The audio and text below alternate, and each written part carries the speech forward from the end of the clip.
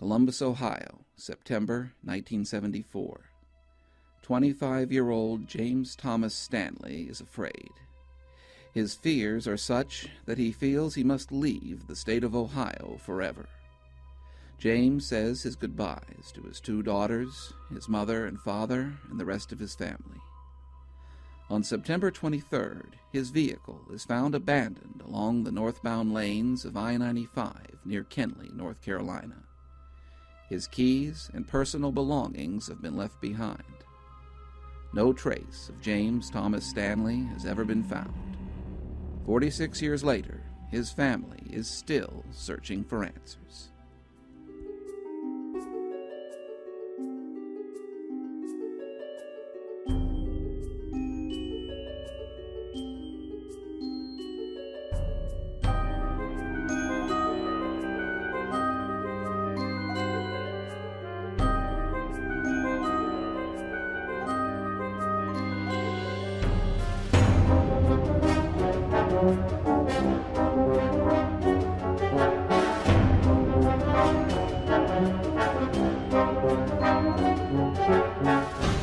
James Thomas Stanley has been missing since 1974. There have been no reported sightings and no activity on his Social Security number.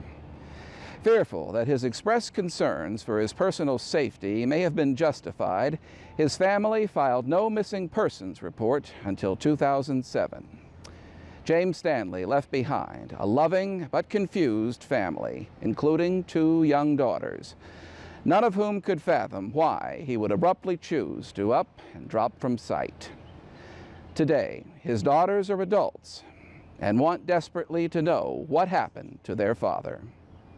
This feature was filmed with the complete cooperation of James Stanley's family and the Athens County, Ohio Sheriff's Department. James Thomas Stanley, known to his family and friends as Tommy, was born in Ironton, Ohio in 1949. He was the youngest of three children born to James and Martha Stanley. Tommy spent most of his childhood in Nitro, West Virginia. Around 1963, Tommy and his parents moved to The Plains, Ohio, a small and mostly agrarian community in Athens County. According to his family, Tommy was less than happy about the move.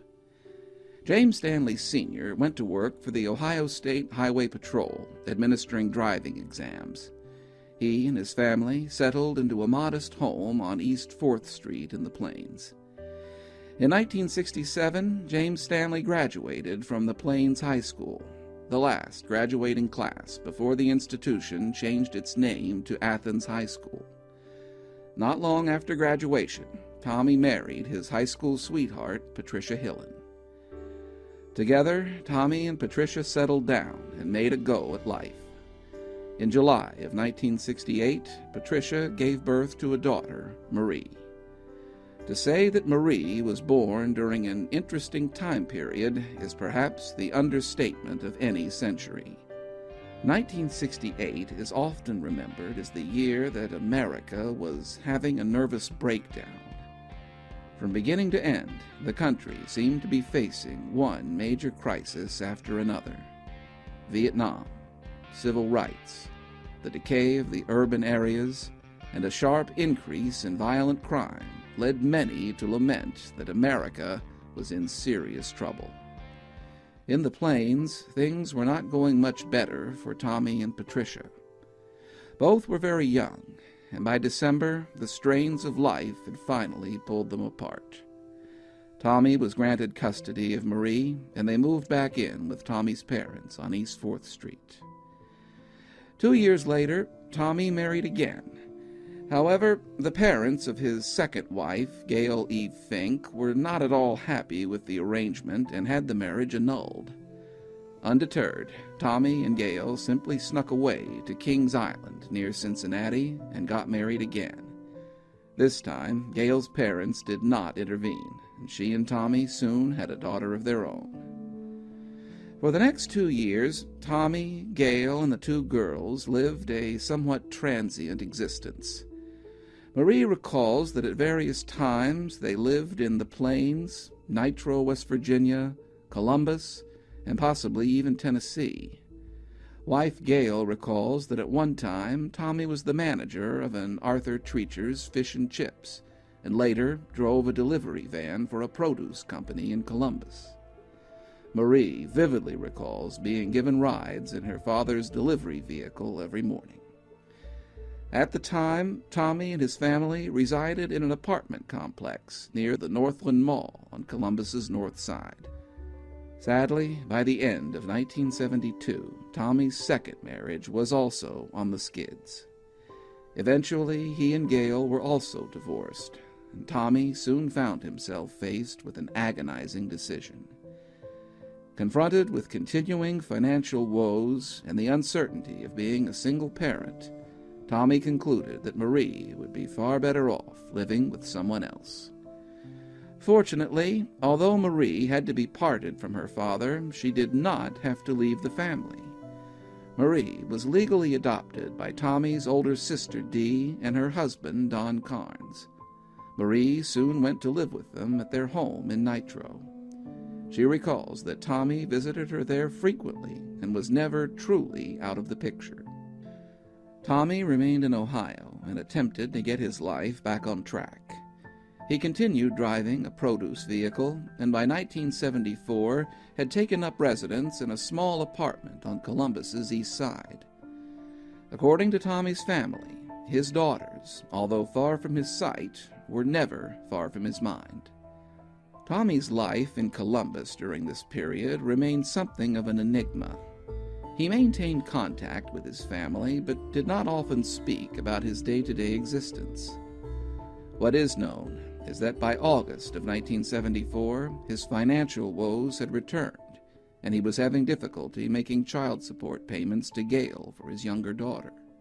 No one knows precisely what triggered it, but by September of 1974, Tommy had decided that he needed to leave Ohio and perhaps his entire life behind.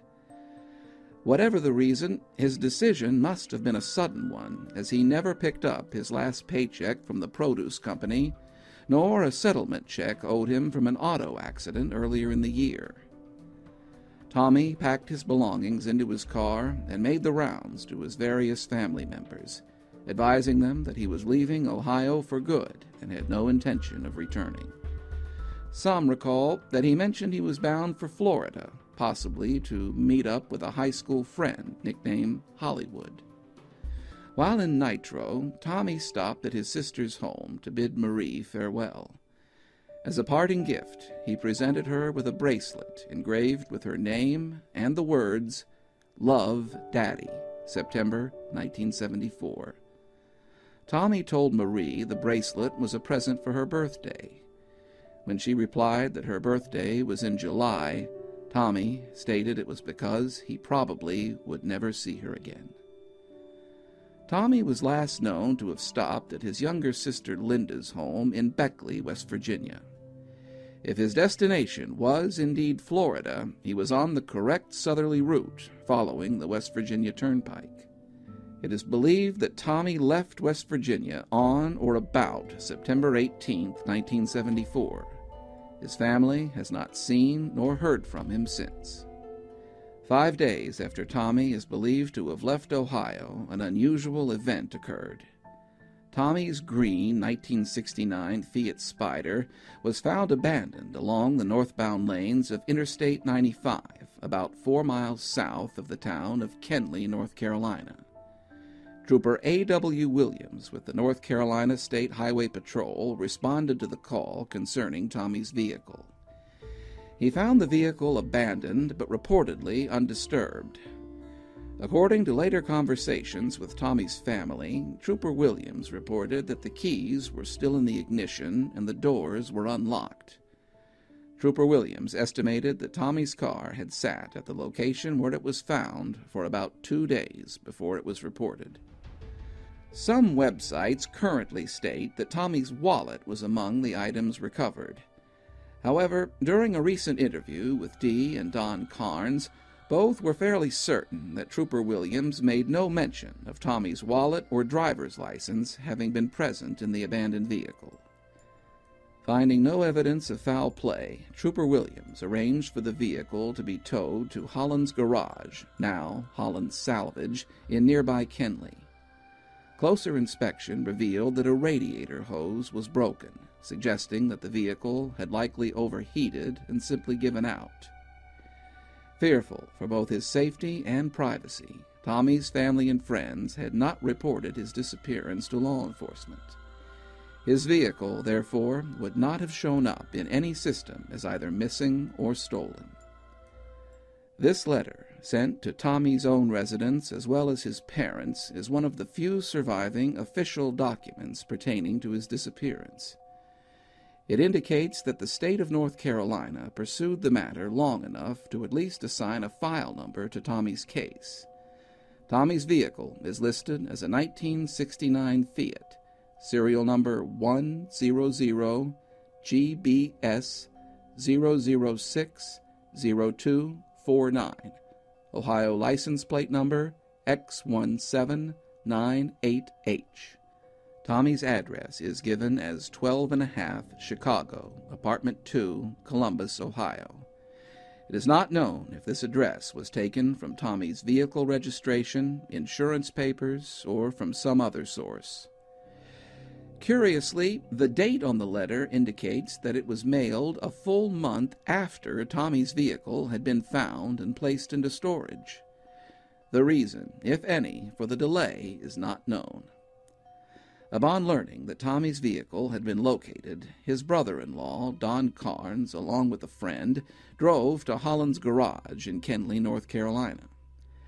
However, one day prior to their arrival, Tommy's vehicle was picked up by the company through which it was financed, the Beneficial Finance Corporation, and transported to their Winston-Salem office. Further complicating the issue, many of Tommy's personal effects were curiously unaccounted for. Don Carnes later recalled that the sum total of his efforts to retrieve Tommy's belongings amounted to some clothing stuffed into a duffel type bag, a pair of shoes, a shaving kit, a toothbrush, and a stack of eight track audio tapes. No wallet, no driver's license, no personal papers, not even the photo albums which contained the childhood photos of his two daughters.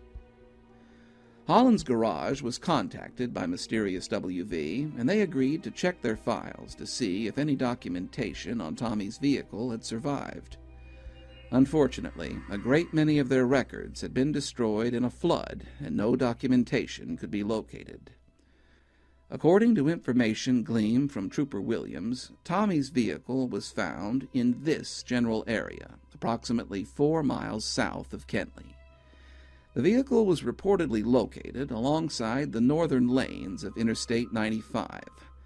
I 95 is now the principal north south artery for much of the East Coast. However, in 1974, I 95 actually terminated on the southern border of Kenly, as can be seen in this aerial photograph taken in January of 1975.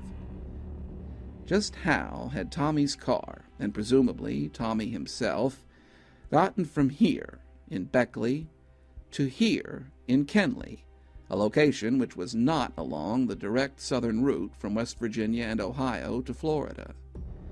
As is the case today, the most logical route in 1974 would have been for Tommy to follow the West Virginia Turnpike and I 77 to Columbia, South Carolina, and only then transition to I 95. If Tommy's ultimate destination was Florida, and he had simply chosen an alternate route, why then was his vehicle found along the northbound lanes of I 95 as opposed to the south? Had Tommy changed his mind and chosen another destination? If so, where and why? Very little about the situation seemed to make any sense. As Tommy had made it plain that he had, in essence, packed up his life and left Ohio, the unusually small amount of recovered possessions struck his family members as particularly odd at best.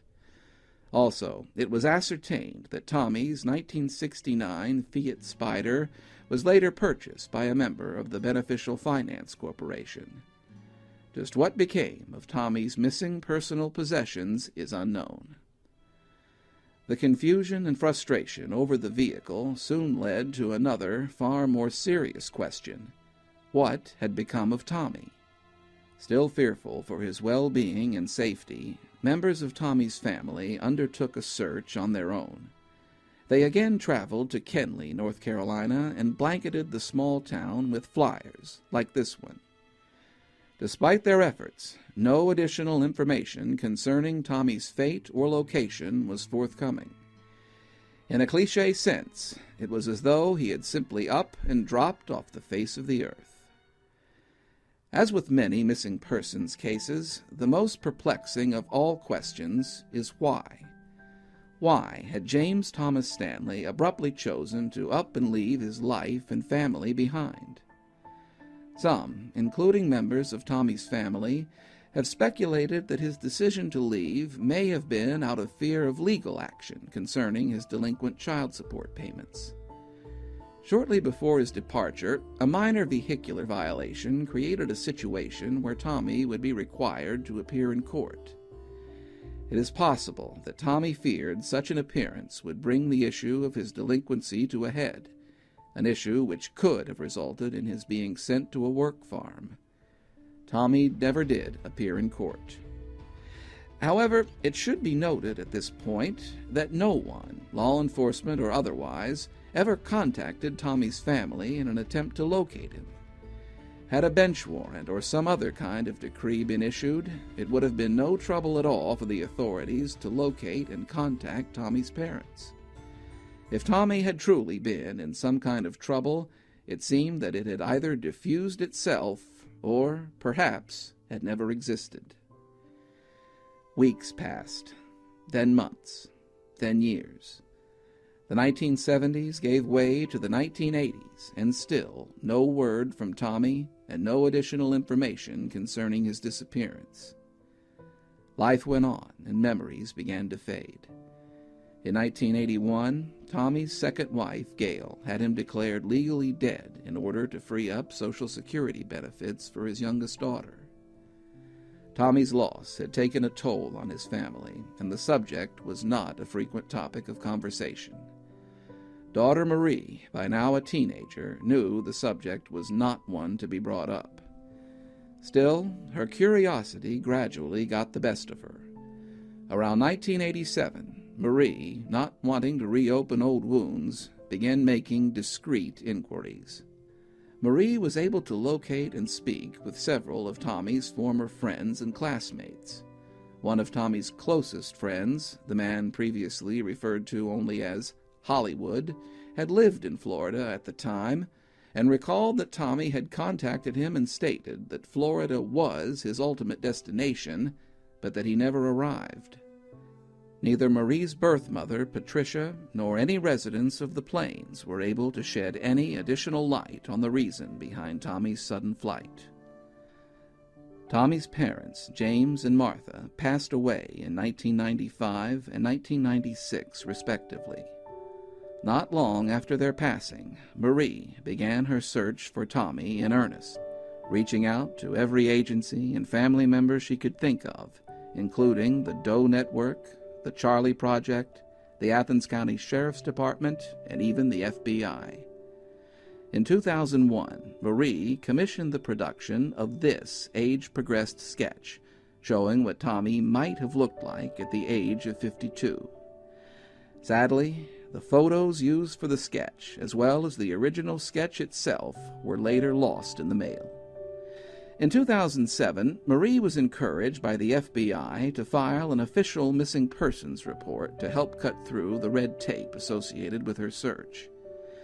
33 years after he dropped from sight, James Thomas Stanley was finally declared a missing person. The details of his case have since been entered into the NamUs system and DNA has been obtained from both Marie and Tommy's oldest sister, Dee. Several potential matches have already been compared and excluded. This John Doe, with whom Marie's DNA was compared in 2007, at first appeared to be a very likely prospect. However, following the DNA analysis, it was determined that this unfortunate young man, found in Georgia in 1975, was not Tommy Stanley. Today, Tommy's case is being handled by the Athens County, Ohio Sheriff's Department. They, along with Marie, are in the process of attempting to gain access to Tommy's financial and employment history from the Social Security Administration. They are hoping to possibly locate former co workers and friends of Tommy's who may have known him during the time that he was living and working in Columbus. Forty six years have come and gone since James Thomas Stanley was last seen by his family. Though the chances seem slim, those who love and miss Tommy are continuing in their search for answers.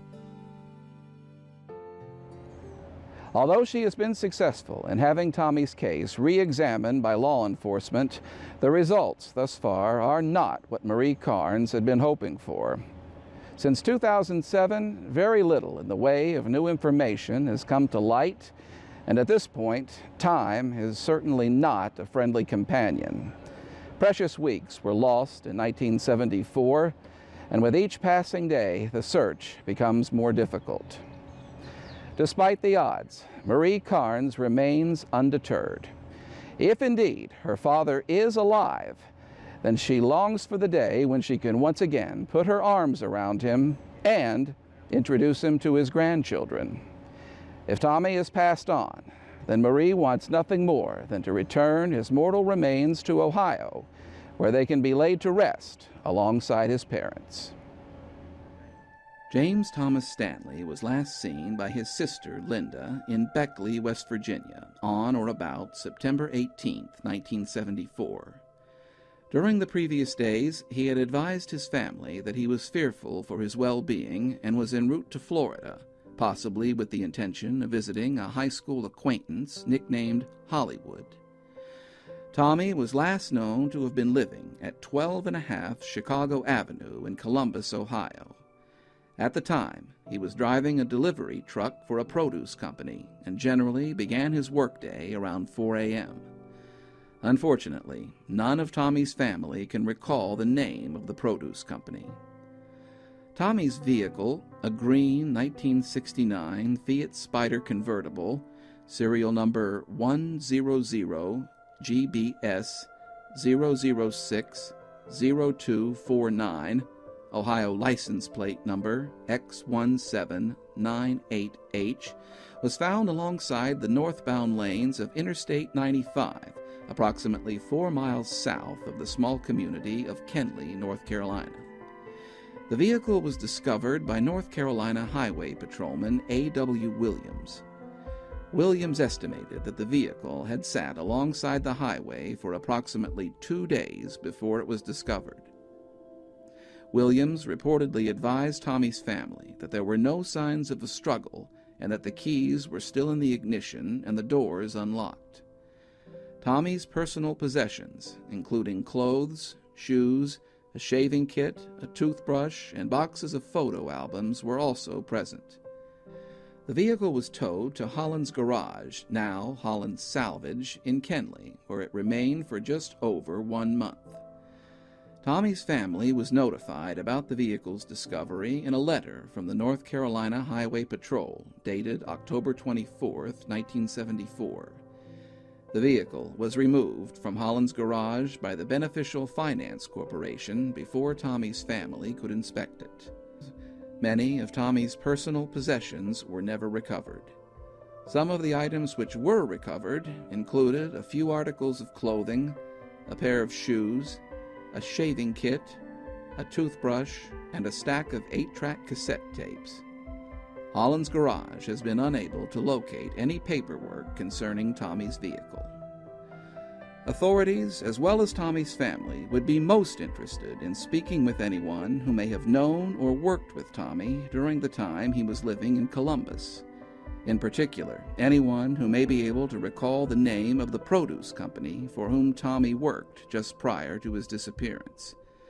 They would also like to speak with anyone who may have seen or spoken with Tommy or observed his vehicle at the time it became disabled along the northern lanes of I 95 south of Kenly, an event which is believed to have occurred on or about September 21, 1974. Today, James Thomas Stanley would be 71 years old. He is approximately 5 feet 8 inches tall, with blue eyes and a fair complexion.